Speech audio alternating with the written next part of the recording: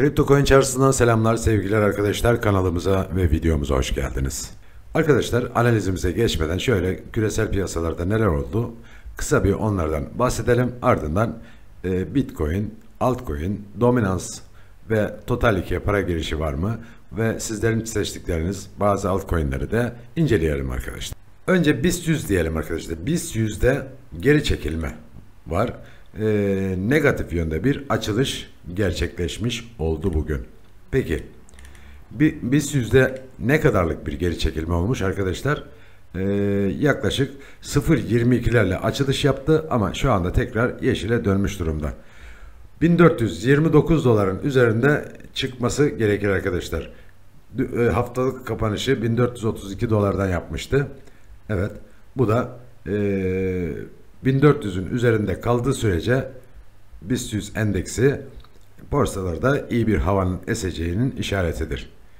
Peki küresel bazda baskı var arkadaşlar. Dolar endeksi de yükseliyor. Dolar endeksi 93 civarında. Peki bu Amerika'da enflasyon verileri de yükseliyor arkadaşlar. Bu da tabii ki iyi bir işaret değil e, küresel piyasalar için. Peki bu durumda bu durumda nelerde yükseliş var?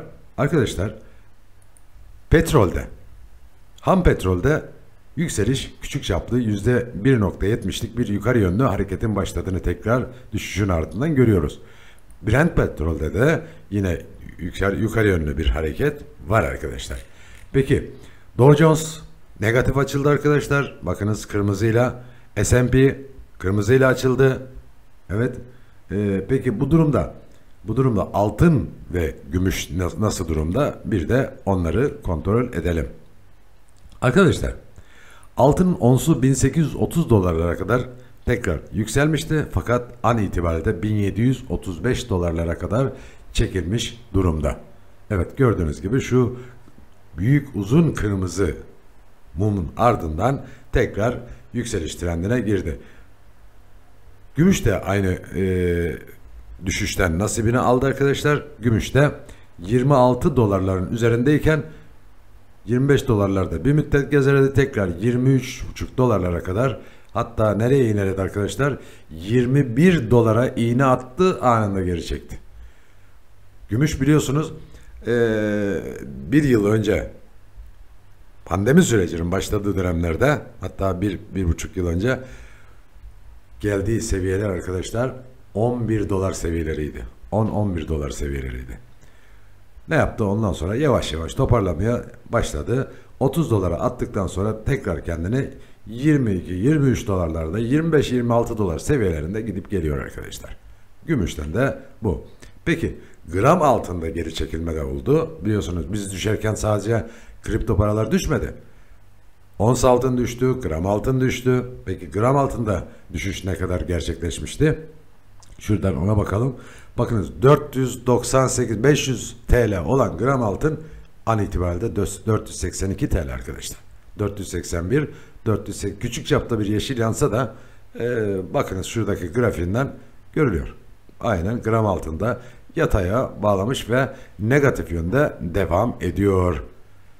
Peki e, gümüş arkadaşlar.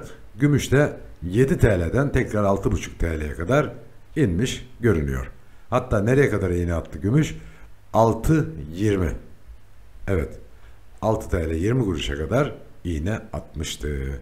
Bunu niye anlattım? Arkadaşlar şimdi biz düşüyoruz ya. Küresel piyasalarda genelde bir düşüş oluyor. Düzeltme oluyor. Yani ee, buralardaki düşüşler bakınız yüzde sıfırlık, yüzde birlik, yüzde ikilik değil mi? Çıkışlar da böyle arkadaşlar. Bizim piyasamız çok farklı. Bizim piyasamız çok oynak bir piyasa arkadaşlar. Niye? Bizde yüzde on, on beş, yirmi olur. Bazen çıkışta rallide yüzde elli, yüzde yüz olur. Normal piyasalarda bunlar yoktur arkadaşlar. Kripto piyasamız inanın çok oynak bir piyasadır. Anında bizi zengin de edebilir, paramızın da çoğunu kaybettirebilir. Onun için kripto piyasalarda çok dikkat etmek gerekir. Panik yapmayacaksınız kripto piyasalarda arkadaşlar.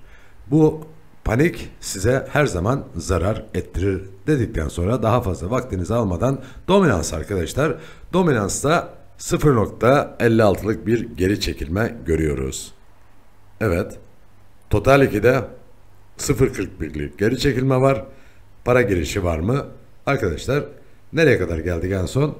980 milyar dolardan 965 milyara kadar geri çekilme oldu. Yani yaklaşık bir 15 milyar dolar bir para çıkışı, bir kar realizasyonu, bir satış gelmiş oldu altcoin'lerden. Bitcoin. Arkadaşlar Bitcoin'de bakınız yataya bağlamış durumda saatlik grafiğinde. Dedi ki 45'in üzerinde kapatırsa hedef 50 bin dolardır. Evet hedefimiz hala geçerli. Küçük çaplı bir düzeltme yok mu? Var. 1.47'lik bir geri çekilme var arkadaşlar. Ama bu geçicidir. Bu e, yönünü yukarı çevirmesi için aşağıya geri gelmesi, biraz düzeltme yapması gerekir. Peki 2 saatlik grafiğine baktığımızda arkadaşlar ve al sinyalinin devam ettiğini görüyoruz. Ve yükseliş trendi. Bakınız arkadaşlar şu kanal içinde şu kanal içinde Bitcoin'in şurayı da genişletirsek yükseldiğini çok rahat çok rahat görebiliyoruz arkadaşlar. Buradan kanalımızı çizdiğimiz sürece kanalımızı evet buradan yükselişimizde çizdik. Peki arkadaşlar bu yükseliş trendimiz bakınız iki kanal içinde aşağıdaki desteğimiz yukarıdaki direncimiz. Eğer tekrar yukarıdaki dirence değdiğinde Bitcoin 47-48 dolarlara kadar gidecektir. Bakınız buradan geri tepki aldı ve yukarı yönlü hareketine devam edecektir. Bu süper trendimizde de al sinyalinin olduğunu görüyoruz. Tabii ki bu stokastik Erasa ile de şu anda uyumlu arkadaşlar. Altta satışların 2 e, saatlikte bittiğini, küçük çapta alışların devam ettiğini görüyoruz. Bu geri çekilmelerde ne yapıyoruz? Panik yapmıyoruz. Bu düzeltmeler olacaktır arkadaşlar. Ethereum. Ethereum'da da al sinyalimiz devam ediyor arkadaşlar. Aynen Bitcoin gibi. O da yataya bağlamış durumda. 3100 doların üzerindeyiz. Evet bu geri çekilme yukarı yönlü hareketin başlangıcı anlamına gelir arkadaşlar. Saatlik grafiğimizde de zaten bu bellidir. Yukarılarda şuradan 4 saatliğimizi açacak olursak Ethereum için bakınız ne var? Şurada arkadaşlar bizim bir direncimiz var değil mi? En güçlü direnç şimdilik şurası görünüyor. Bu da e, 3000 şurası arkadaşlar 3500 dolar. Evet geçenki yayınımızda dediğimiz gibi 3500 dolar güçlü bir direnç olarak karşımızda. Aşağıda desteğimizde şimdilik 2900 dolarlar. Arkadaşlar yüzde birlik bir geri çekilme var. Bu sayılmaz. Geri çekilme sayılmaz. Yani buradan bir tekrar tepki alımıyla yönünü yukarıya doğru çevirecektir diye düşünüyorum. Tabii ki buradaki anlattıklarım yatırım tavsiyesi değildir. BitTorrent. BitTorrent bayağıdır yükseliyor arkadaşlar. Yaklaşık 10 gündür yükseliyor. Arada bir iki geri çekilmeler de olsa yükselişi devam ediyor ve al sinyalinin devam ettiğini buradan BitTorrent'ten görüyoruz arkadaşlar. BitTorrent'te en büyük en büyük direnç neresi? Bakınız şuranın desteği buradaki direncidir arkadaşlar. 40'lara doğru evet şu an 38'lerde çift 0 38 çift, çift 0 40'ı yukarı devirirse arkadaşlar nerede yolu var? Evet 90'lara kadar yolu var arkadaşlar önü açık. 90'lara kadar gidebilir. 80 olur, 85 olur. Yani 90'a kadar önü açık. Tabii ki bu arada da gidiş gelişler olacaktır diye düşünüyorum. BitTorrent evet BitTorrent yakın zamanda sıfırın birini atma eğilimine girebilir. Tabii ki bu benim düşüncem. Çiliz. Çiliz'de arkadaşlar 2 saatlik grafiğine bakıyoruz.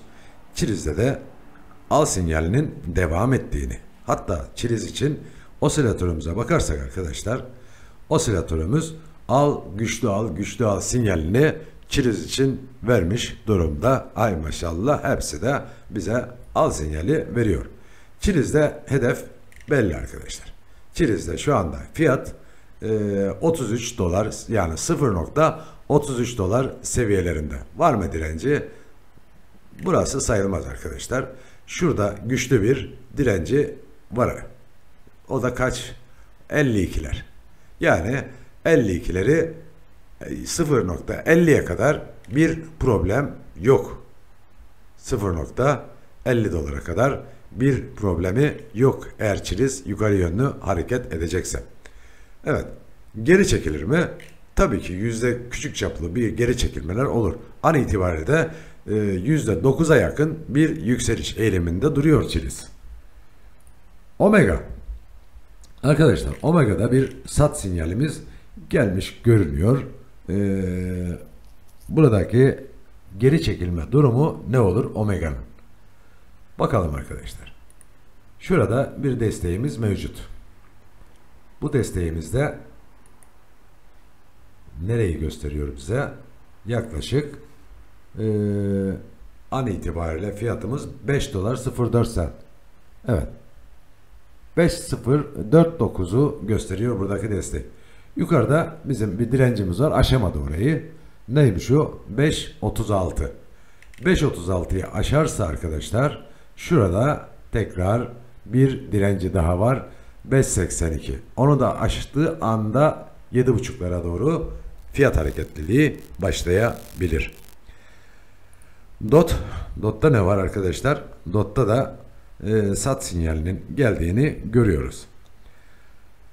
Peki sat sinyali var da hocam biz satalım mı? Arkadaşlar bunlar günlük day traderler için sat sinyalleri. Orta ve uzun vadede yatırım yapanlar için bu sat sinyali değil arkadaşlar. Yani bunu dikkate almayın. Çünkü siz orta ve uzun vade yatırımcıysanız ne zaman satarsınız? Ben ne zaman satarım? Misal ben kendimden örnek vereyim. Eğer DOT %50, %60 bir rally yaptıysa ben onu elimden bir çıkarırım. Niye? Geri çekilecektir mutlaka. 20-30 neyse geri çekilmesine bakarım. Ha aklım yatıyorsa kendime de güveniyorsam mali durumumdan dolayı o zaman tekrar girer hissemi çoğaltırım arkadaşlar. Yatırım bu şekilde olur.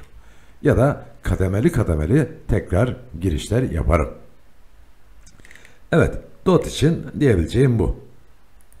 RVN arkadaşlar, RVN kaliteli bir altcoin. Tabii ki e, aldı başını gidiyor. Evet. E, düşen takoz, yükselen trendlerle yoluna devam ediyor. Bakınız. 4 saatlik grafiğini RVN'nin açalım. Arkadaşlar RVN şurada neredeymiş? 26 Temmuz'da 0.05'lerdeymiş. Şimdi nerede arkadaşlar? Sıfırının birini Temmuz bak 20, 26 Temmuz.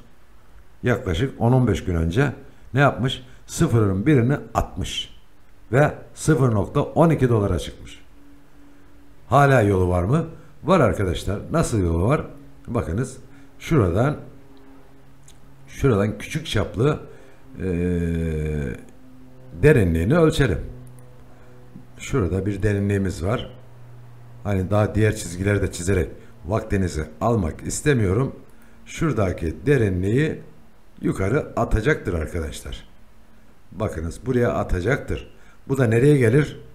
0.15 dolarlara gelir. Şu an kaç para? 0.12 dolar. Evet. RVN'de yukarı yönlü hareketin olduğunu söyleyebiliriz. Binance. Binance'da arkadaşlar hedefimiz var. Ne, ne var? İlk etapta e, 400 peşinden de 455 dolar gibi bir hedefimiz var arkadaşlar. Binance neredeydi en son? 264 dolarlardaydı. Ne zaman? Temmuz'un 20'sinde. Şimdi 354 dolarlar arkadaşlar. Evet. 354 dolarda şimdi. Nereden geldi arkadaşlar? 700 dolarlardan geldi. Yine bulacaktır oraları. Yönü oraları bulup hatta bence geçebilir de. Kaliteli bir altcoin. Kendi borsası var biliyorsunuz zaten. Bunu söylemeye gerek yok. Evet. Binance için, BNB için e, daha fazla yoruma gerek yok. Neo. Neo'da da arkadaşlar küçük çaplı bir e, kayıp var. Ama bunlar düzeltmedir. Bunlar olacaktır arkadaşlar. Bu düzeltmeler her zaman olacaktır. Neo 46 dolarlarda hedef 50 dolar demiştik. 50 dolara doğru gidecektir. Evet. Şurada bakınız eğer eğer şuradan tepki alımı devam ederse 48'i aşarsa hatta ve hatta 64 dolara kadar önü boş arkadaşlar. 64 dolara kadar gidebilir Neo önü boşalıyor. Nereden gelmiş Neo? Neo'da 130-140 dolarlardan aşağı gelmiş arkadaşlar. E, 4 saatlik grafiğine baktığımızda. Tro. Tro arkadaşlar. Tro, Tro, Tro. Arkadaşlar Tro 4 Ağustos'ta bakınız. Tro'ya şimdi biraz ilgilenelim. 4 Ağustos'ta ne yaptı? Şuradan şuradan hop atladı buraya. Ne yaptı arkadaşlar? %596 gibi bir yükseliş yaptı. Değil mi? %596 gibi bir yükseliş yaptı. Ne kadarını geri almış arkadaşlar? Ne kadarını geri almış? %112'sini geri almış. %112 geri çekilmiş. Tabii ki çekilecektir. %500 yapan %100 geri çekilecektir arkadaşlar. Yani mantıken de doğru değil mi? Bir altcoin %500 prim yapıyorsa az önce ne dedim? %60, %70 bir primi yapan Bunları ben sat elimden çıkarırım. Geri çekilmesini beklerim. Mutlaka düzeltme yapacaktır. İşte bu da Tro da o düzeltmesini yapıyor arkadaşlar. Devam eder mi düzeltme? Bakıp göreceğiz. Yani aşağıda devam etmesi durumunda bakalım saatlik grafiğini açalım. Saatlik grafiğini açalım. Sinyal al sinyali devam ediyor. Saatlikte bir al sinyalimiz mevcut. Yukarıda ne direncimiz var? 0.59 direncimiz var arkadaşlar. Nereye atmış kendini? 1 doların üzerine atmıştı biliyorsunuz. 0.59 direncimiz var. Aşağıda aşağıda bu mevcut bulunduğu şu andaki desteği güçlü bir desteği var arkadaşlar burada. Bakınız bu destek güçlü. Bazen böyle tak diye çizmiyor. Bu desteğimiz güçlü arkadaşlar. Anlık fiyatı 0.47 dolar desteği kırmadı aşağı. Bakınız ne zamandan beri 2-3 gündür burada devam ediyor. Kırmadı. Eğer kırarsa daha çok aşağıya gelebilir. Ama yukarı yönlü dönerse arkadaşlar yoluna devam edecektir. Bakınız şurada da bu 57-60 dolarlık direncini kırması lazım yukarı yönlü devam etmesi için. Buraya çarpıp geri de dönebilir arkadaşlar. Bakınız. Buraya tekrar çarpıp geri dönebilir. Yani şu bant aralığında gidiş gelişler olabilir. Ne yapar? Bu şuradan gelir arkadaşlar. Şimdi şuradan gelir. Buraya çarpar. Yükseliyor zannederiz. Tekrar geri çekilir. Buraya çarpar. Bu, bu, bu yatay seyrinde devam eder. Hangi bant aralığında? Ee, 57 ile 47 46 47 band aralığında gidip gelebilir. Ondan sonra rally yapacaksa tekrar devam edebilir yukarıya yönlü. Ha elinde olanlar ne yapacak? Elinde olanlar 1 dolardan girenler mecbur bekleyecek. Buradaki zarar, sattığın daha çok zarara girecekler. Ama dediğim gibi yeni girenler %5 bir kayba girerse kendileri bilirler. Onlar da kendi kararlarını kendileri vereceklerdir. Ha, yukarı atar mı kendini? Arkadaşlar atabilir yani. Bu piyasa yarın 5 dakika sonra, 1 saat sonra kimse ne olacağını bu piyasanın bilemez, kestiremez. Ben biliyorum ya bu buradan buraya şimdi gelecek denmez arkadaşlar. Tahmin ediyorum buraya gelebilir okey. Bu okey. Ama gelecektir. Buraya burada bugün bu mesela e, 0.47 ya Az sonra bu 0.50 dolar olacaktır. Bu böyle denmez arkadaşlar. Böyle bir şey yok. Böyle bir kelime yok bu analizde. Analizde kesin konuşma yok arkadaşlar. Evet. San. Arkadaşlar San'da da Sanda da göze görülür bir düşüş trendimiz mevcut bakınız. Yukarıdan aşağıya çizdiğimizde eee, saatlik grafiğinde gözle görülür bir düşüş trendimiz var. O da o da eee, düşüş trendini yeni girecekler için düşüş trendinin kırılmasını beklemesi gerekir. Nasıl giriliyor? Bakınız arkadaşlar. Şimdi oradan pardon sildik. Düşüş trendini sildik. Alttan bir tane hatta şuradan eee regresyonu açarsak arkadaşlar bakınız. Şurada düşüş trendimiz var ya o tren- trendi yukarı yönlü kırdığı anda yani şurayı kırdığı anda girilebilir. Şurayı kırması lazım. Şurada girerim ben. Yani şurada girerim. Ki buradan yönü yukarı olabilir şeklinde düşünebiliriz. Aşağıda. Peki hocam diyeceksiniz. Şu aşağıya geldiğinde girme durumum olur mu? Aşağıda girilmez arkadaşlar. Şurada girilmez. Çünkü buradan daha aşağı çekme durumu olabilir. Bir enstrümana gir- girebilmemiz için enstrümana girebilmemiz için yani şuradan şöyle bir trendi kırması lazım arkadaşlar. Eğer kıracaksa o zaman kırdığında girebiliriz. Bu sadece bunun için geçerli değil, bütün enstrümanlar için geçerlidir. Sanda da küçük çaplı bir yeşil yanıyor. 0.024 dolar piyasası. Evet. Buyur. Burada güzel. Bu çok güzel bir grafik arkadaşlar. Böyle bir grafik şu ana kadar açtıklarımın içinde yok. Bir çilizde var. Benzer grafik. Arkadaşlar bakınız. Öyle güzel yapmış ki. Şimdi hep beraber inceleyelim. Düşen trend yapmış. Bakınız hatta ben kalemle yapayım.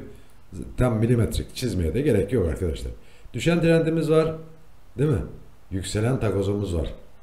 Düşen trendimiz şey dü- düşen takoz var. Yükselen trendimiz var.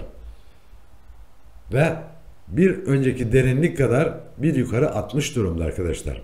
Nereden geldi bu? 38 dolarlardan geldi. Ne zaman? 6 Ağustos'ta. Evet. 6 Ağustos'ta. ICB ben size birkaç videodur verdim arkadaşlar. İzleyenler vardır mutlaka. Bazen videonun sonuna denk geldi. İzlememiş de olabilirsiniz. Şu anda %100 bir kar yapmış durumda. Aşağı yukarı. Evet. 30'lardan 60 lira. Yani 74 dolarlara kadar geldi. 36 dolarken. Daha hatta daha erken de verdim ben bunu. Öyle hatırlıyorum. Devam ediyor arkadaşlar. Bunun yolu var işte. Bakınız. Bu 100 dolara kadar gidebilir arkadaşlar. Evet. inceleyin. Bakın bu ICE 100 dolara kadar gidebilir. Ha geri çekilir. Düzeltme yapar. Ama hedefi hedefi 100 dolar civarındadır arkadaşlar. Evet. Bunu da buradan size söylemiş olduk. Aks arkadaşlar.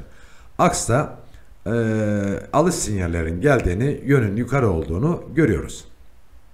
Peki e, fiyat olarak da yüzde e, yükseliş olarak da yüzde 2.77'nin üstünde ve 44 dolar. Yani bunda bir hedef zaten verdik biz 50 dolar dedik. Ha- Hala o geçerli. 50 dolara çıkabilir, kendine atabilir arkadaşlar. Eğer 50 doları aşarsa önü tekrar bomboş. Gider. Gider arkadaşlar. O zaman nereye kadar gider?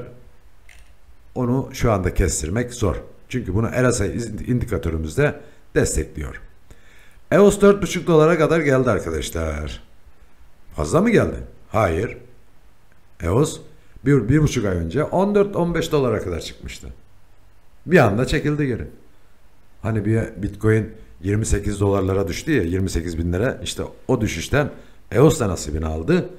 Onlarla birlikte uçarak düştü. Evet. Tekrar toparlanır mı? Bunu da zaman gösterecek. Bekleyip görmemiz gerekir diye düşünüyorum. Cardano. Cardano'da al sinyalinin geldiğini görüyoruz. Küçük çaplı bir yeşil yanıyor. 1.47 1.5 dolarlarda hareketleri devam ediyor. Cardano için güzel haberler var. E, Ethereum, e, rakip deniyor. İşte Ethereum'un eski kurucularından, eski ortaklarından bu Cardano'nun sahibi arkadaşlar. Bu da e, iyi bir yerlere getirmeye çalışacaktır Cardano'yu. Cardano yine orta ve uzun vade yatırım için güzel bir altcoin'dir diyebiliriz. Ripple. Ripple'da da al sinyali mevcut. 81 0.81 dolarlarda hedefte aynen dediğimiz gibi Ripple için 1 dolar yolculuğu olabilir arkadaşlar. Bunu da buradan belirteyim. Artık kısa kısa geçeyim. Daha fazla zamanınızı almak istemiyorum. REF'te %2'lik bir yukarı yönlü hareket var. 0.02 dolar seviyelerinde. Evet. Ee, onun da al sinyalinin devam ettiğini görüyoruz. Arkadaşlar piyasa geneli gayet güzel. Yani küçük çaplı geri çekilmeler sizleri yanıltmasın. Evet. Düşüş trendi değil bunlar arkadaşlar. Bunlar yükseliş için e, bir kuvvet toplama metodu. Evet. Böyle geri çekilmeler olacak ki yukarı yönlü hareketler de devam edecektir. TLM'de %0.57'lik yukarı yönlü bir hareket var. 0.28 dolar fiyatında. TLM'de arkadaşlar 0.30 dolarlarda bakın 0.30 dolarlarda bir direnç var. Eğer onu kırarsa TLM biraz daha yukarıya nereye kadar önü boş? 0.37 dolara kadar önü boşalıyor TLM'nin. Holochain. Holochain'de de arkadaşlar yukarı yönlü hareketin devam ettiğini görüyoruz. Evet. Şimdi bazı altcoin'lerin hacmi çok ama yükselişi yok. Bazı altcoin'lerde hacim yok ama yükseliş çok. Bunlardan biri de Holochain. Evet arkadaşlar arz ve talep meselesidir buna. Bunu da buradan belirtmiş olduk. Evet Holda yukarı yönlü hareket devam edebilir arkadaşlar. Çift 0.86 sıfırın biri atılma durumuna da gelebilir. Bakınız bunlar yatırım tavsiyesi değil hiçbiri. Kendi düşüncelerimi burada açıklıyorum. TVK arkadaşlar TVK yataya bağlamış durumda şimdilik. TVK yukarıda neyimiz var? 0.34'lük bir direncimiz var. Şu an 0.30 dolar seviyelerinde. Eğer o direnci tekrar kırarsa 0.39'luk bir direnci var önünde. Onun ardından direnç nereye kadar boş? Yukarıya kadar boş. Şurayı aşağı alırsak Evet. 46'ya kadar boşalıyor oyunu. Önde iki direnci var. Bakalım bekleyip göreceğiz. Fiyat olarak da %3'lük geri çekiliyor. Şu anda fiyatı bu. Evet. Diğerlerine bakarak daha fazla vakit öldürmek istemiyorum. Ee, yine sizin elinizde olduğunu düşündüğüm bir de Engine Coin arkadaşlar. Engine Coin'de de al sinyalinin devam ettiğini %4'e yakın bir yukarı yönlü hareketin başladığını ve 1,5 doların üzerine çıktığını görebiliyoruz. Ne var Engine'de? 1.6 direnci var. Evet. Eğer onu kırarsa Engine'de de ön komple boşalıyor, görünüyor. Evet. Engine içinde söyleyebileceğim bu. Evet. X ve G. X ve G yavaş yavaş. Bakınız. X ve G şimdi alınabilir. Niye? Düşen trendi kırmış. Bakınız yukarı yönlü hareketini başlatmış. Geri çekilir? Çekilebilir arkadaşlar. Ama benim için alım yeri burasıdır. Bura uygundur. Burada alırım. Artık şansıma derim. Çünkü düşen trend kırılmış durumda. 2 saatliğine bakacak olursak aynı pozisyon trend kırıldı. Düşen trendin kırıldığını görüyoruz. Zaten XVG içinde bu ayın 28'inde bir halving fiyat yaralanmasına gidileceği söylentileri, haberleri var zaten arkadaşlar. Bakacağız fiyatına ne derece yansıyacaktır, yansımayacaktır. Onu da hep beraber göreceğiz. Bazı halvingler fiyatı hemen hemen fiyatlanmaz arkadaşlar. Aradan birkaç ay, geçer. Nitekim Bitcoin'de de yaşadık bunu. Halving'den sonra düşüş geldi, ardından yükseliş gelmişti. Evet. Scala Network'te networkler arkadaşlar her zaman dediğim gibi networklerin hepsi güzeldir. Yani hangisi varsa elinizde orta uzun vade network e, coinlerinde kalabilirsiniz. Tabii ki yatırım tavsiyesi değil. Networkler prim yapar arkadaşlar. 0.32 dolar seviyelerinde al sinyali gelmiş. Stokastik RSI indikatörümüzde Scala Network için bize hareketin yukarı yönlü olduğunu ve an itibariyle de %11'e yakın yükselişte olduğunu söyleyebiliriz. Evet. Gelelim Doge'ye. Doge. Doge'de al sinyali devam ediyor arkadaşlar. Her ne kadar yani 28 dolara iğnelip de tekrar geri çekilse şu anda 25-26 dolar seviyelerinde hareketine devam ediyor. Küçük çaplı bir yeşili var. Evet kırmızı da yok 0.03'lük bir yeşilde bekleyip göreceğiz arkadaşlar. Yani e, hareketleri yukarı yönlü ne derece olabilir şeklinde zaten detaylı açıklamaları diğer videolarımda yaptım. Değişen bir durum yok. O açıklamalarım hala geçerlidir. Evet, Shiba için de aynısını söyleyebilirim. Shiba'da Doge gibi yatayda al sinyalinin süper trendimizin al sinyali devam ediyor. Tabii ki bu arada geri çekilmeler küçük e, çaplı kar realizasyonları mevcut arkadaşlar. Bunları da buradan e, belirtmiş olalım. Çünkü Shiba ve Doge ile ilgili çok detaylı açıklamalar zaten diğer videolarımda yaptım arkadaşlar. Bugün bu kadarlıkla yetinelim diyorum. Evet bir de mana diyelim. Ondan sonra da yayınımızı kapatalım. Manada da %4'ün üzerinde yukarı yönlü hareket var. 0.77 dolar seviyelerinde. Evet bu da oyun coinlerinden biridir arkadaşlar. Onun için bunda da an, ani hareketler gelebilir mana. Mana bir bakmışın yüzde 60, 70, 80 çıkar. Bir anda bir mumu şöyle bir çeker aşağıya yüzde 20 60'ı yüzde 20'ye kadar geri çeker. Bu şekilde hareketi mananın var. Manası, manası olanlar yükselişte kar realizasyonu yapabilirler. Arkadaşlar yatırım tavsiyesi vermiyoruz tabii ki. Kanalıma yardımcı olmak isteyen arkadaşlar abone olup like atabilirler. Bunlar için de sizlere çok teşekkür ediyorum.